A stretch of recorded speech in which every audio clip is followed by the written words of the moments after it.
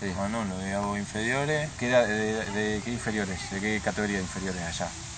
Y arranqué en sexta, quinta, cuarta. El segundo año de cuarta me subí a la primera. Sí. Y estuve un año y medio al dope en primera porque no me Sí. puso de la pica, viste, están Sí. de verano. Sí. Después entrené, entrené por entrenar hasta que dije, chau, no quiero saber más nada de. Eh, ¿Quedas libre o, o vos tomás la decisión ahí? Y no me iban a firmar porque justo aparece Mascardi y yo ya me, Sí. es como que ya me fui solo. ¿Ya con cuántos años? Y 21, 22. ¿Pero porque no querías saber nada o porque No, ya viste quería- que no...? Sí, no quería que saber no más nada y ya cuando tenía firmar contrato vino Mascardi con todos sus Sí. jugadores Sí. y ahí yo ya, ya no quería saber más nada. Ajá. Y después arranco con el profesorado de educación física y ya hace 10 años que estoy laburando con los, los que inician el futsal, Ajá. que allá es, no hay, o sea, hay fútbol 11, sí, Sí. pero la cantidad de, de clubes de barrio jugando Babi se llama, Sí. es una liga que se llama FEFI, Sí. que se juega los sábados a la tarde. Y después futsal que se juega los domingos a la mañana, que es más competitivo, yo estoy en la juego con Boca, River, San Lorenzo, Independiente, Racing. Y ese hace 10 años. Y empezaron a, pre- a premiar el mejor entrenador hace 6, Sí. 7, gané 6 de 7 Bien. y en teoría iba a dirigir la selección de, de esta liga de Buffy Sí. y todavía no, cuando se quiso abrir no se abrió y siempre el presidente que ya es conocido mío me dice, bueno, cuando, cuando se abra la, la selección, Te toca. sí, y ahí eh, después enganché cuarta y quinta de Buffy, Sí. me quisieron subir a AFA hace como 3 o 4 años, yo dije que no, que no saber nada, dirigí un partido en tercera de AFA, de futsal, Sí. y, pero igual es más que yo no quiero que, que por el propio decir estoy ahí y nunca me suben, no, contrario. Lo que pasa es que laburo los domingos a la mañana, Sí. yo laburo de profe, voy a una escuela, voy a otra. Y después laburo los domingos a la mañana con promocionales y a la tarde de 1 a 2 juego con las otras. Ya, pierdo, llego a mi casa a 5 de la tarde y allá en Buenos Aires no es como acá Sí, que, sí. bueno, vos tomar una mate al poli, no, ya me pierdo. Entonces como que eh, me cuesta, me cuesta ir más arriba porque Está bien. por mis tiempos familiares que por otra cosa. Está bien. Eh, vos tenés dos chiquitas, Dos nenas. dos nenas de qué edad Una de 7 y la otra va a cumplir 2 ahora en mayo. Los nombres. Emma y Trinidad. Y tu señora, Paola. Paola, ¿cómo la conociste? La conocí laburando en Ferro. Laburábamos en iniciación deportiva eh, y bueno, nos conocimos ahí, dos juntos. Hace ya, nosotros hace 8 años y 7 que tiene Trini, 9 años que la conozco más o. ¿Qué cosas notas de diferente de tu época de jugador? Digo, del ambiente en general, más allá de, de- lo- lo- la práctica en sí, sino de las cosas que has ganado y que has perdido, que seguramente tenés, de- tenés de las dos, en cuanto a tu época de futbolista, Sí, llamémosle de alguna manera, y ahora como Igual hay, hay, hay, hay dos ramas. Una, el que juega al fútbol, Sí. que es el mejor jugador de la historia, Sí, y, y después cuando va a enfrentarse con un grupo no tiene, no tiene conocimiento, no sabe transmitirlo, no tiene recursos de actividad y demás. A mí lo que me ayudó es no decir, uy, yo, cuando yo jugaba hacía esto, no. Claro. Sino lo, lo aproveché a mamar el vestuario, a explicarnos algunas cosas que pasan cuando uno va creciendo y el tema de la responsabilidad de- del entrenamiento desde el vamos, yo con los chiquititos, ya el primer día, antes de empezar, eh, hago reunión con los padres, porque hoy en el mundo del fútbol los padres son todos técnicos, sí, entonces hago una reunión, le digo que mi manera de trabajar es esta, esta, esta, y por favor me tienen que dejar laburar lo más tranquilo posible, porque encima el futsal es muy táctico. Igual le decís un, un pasito a la izquierda y chata, descolocó el equipo, porque son cuatro jugadores Claro. que hay que saber marcar y jugar. claro. Y la ventaja al, al haber jugado es esa. Ya hay cosas que yo ya le puedo transmitir al pibe que otro que no le tengo. Y a la vez me gusta siempre estar eh, actualizado con los ejercicios, me gusta investigar, me gusta mirar. eh, ese tipo de cosas me gusta. Y me gusta que el pibe tenga todos los días algo diferente. ¿Ahí ¿Hiciste la carrera técnica también o no? No, no, no. me- en el club cuando yo empecé, eh, la, la ventaja y desventaja que tiene el profesorado de educación física es que cuando vos empezás a ya cursar el día 1, ya podés laburar. O sea, como ayuda, Sí, sí, no podés laburar en una escuela de profesor, pero te da alguno. Por ahí medio que te atanchás porque estás laburando de lo que estás Claro. estudiando, entonces te atanchás con el estudio. Y. ¿Cómo es? ¿En qué estábamos? No, de, la, de la- Si tenías el, el- Ah, eso. el Bueno, título de técnico. Es. Bueno, entonces cuando empecé a estudiar, a estudiar, empecé a, a dirigir un año, dos años. Cuando me eligen técnico, ya me empezaron, mejor técnico, empezaron a mirar de otra manera en el club. Y uno de los delegados que ayudaba ahí me, me dijo, mirá, queremos que haga la, la carrera que son dos años. Y yo, no, está bien, no, mira, el profesorado no quería saber nada. Y no lo hice. No hice ni el, ni el futsal ni el de 11. Ajá. El de 11 veo que es otro mundo a nivel social Sí, y a nivel de entrenamiento. Y por ahí los pibes correr demasiado, claro. correr demasiado. Que los veo en algún entrenamiento que coincido, miro ahí un ratito y me pongo a pensar lo, el- lo que es más sacrificado el de fútbol 11. Ah. Es mucho más sacrificado, en todo sentido. Y en cuanto a tu responsabilidad, ¿qué pasa con, con esa relación con, con los padres? Vos me planteaste lo de la primera reunión, pero después durante el año. Vos tenés. vos No, ves- yo, vos- bueno, Te toca, eh, ver, te toca ver cosas. De, digo, depresión en general, de, No, porque de, yo de- le- de- de tener padres que, que creen que tienen a Maradona y Eh, venirte los hago- a plantearte eso. Sí, en realidad no. Yo le- en la primera reunión le, le- le soy muy claro. Les digo que mi relación absoluta es con los nenes. Los nenes, eh, si bien es lindo ganar, Sí. la idea es formarse.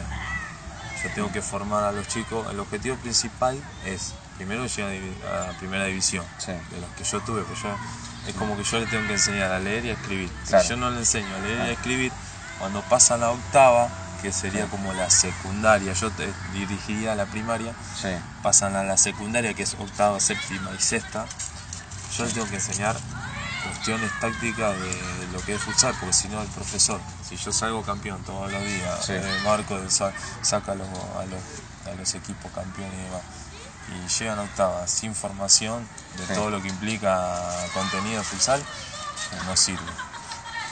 Eso desde el vamos. Y después que hago todos los cambios, todos los partidos, esté ganando, esté perdiendo, no es que voy y hago cambio como para ganar. no. Los cambios míos son, lo hago porque el, el nene no jugó, está bien. sale. Entra otro, sale. Obviamente que a veces que uno está, está ganando el partido y sabes que en algún que otro cambio sabes que vas a perder el partido porque la misma condición de uno y otro no es. Pero eso. Y si algún papá en alguna época por ahí siempre tenés alguno, ahí nomás en el partido le dejo claro que no, que no se meta, que no proteste con los árbitros. La idea es que el pibe se divierta, que aprenda y que se equivoque conmigo con el error siempre, porque es el que decide dentro de la cancha. Eh, de, de tu época de futbolista, ¿extrañas cosas o no? ¿Vas a ver fútbol 11? Allá voy. eh, a ver ¿Estás a hecho Ferro. hincha de ferro? Sí, vamos con Sí. mi familia. eh, imagínate que hace 10 años Sí. que estoy. Yo vivo cerca del club. A veces comemos asado en el club.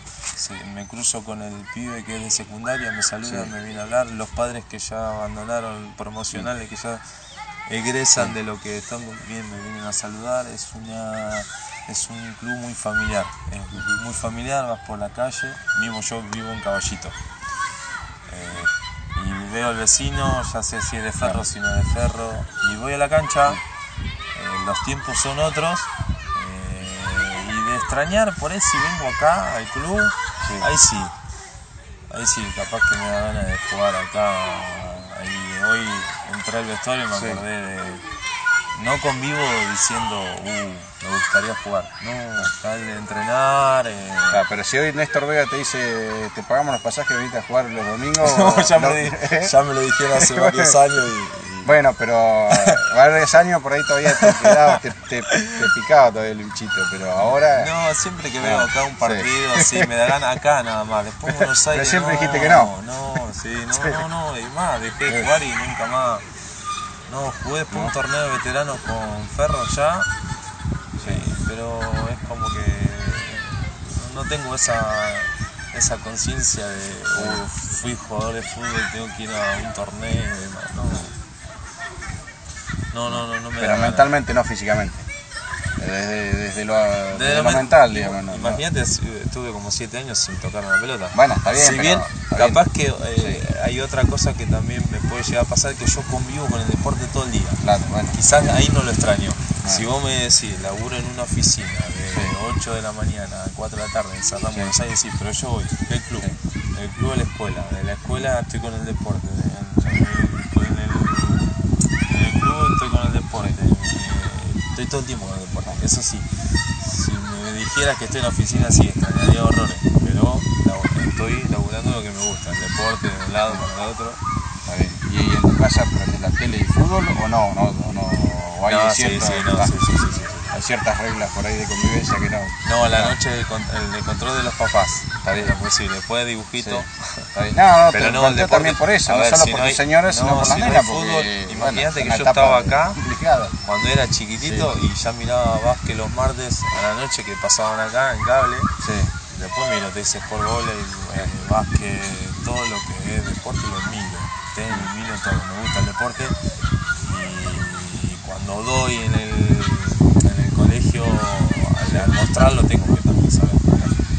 volvemos a la, a la época de las inferiores.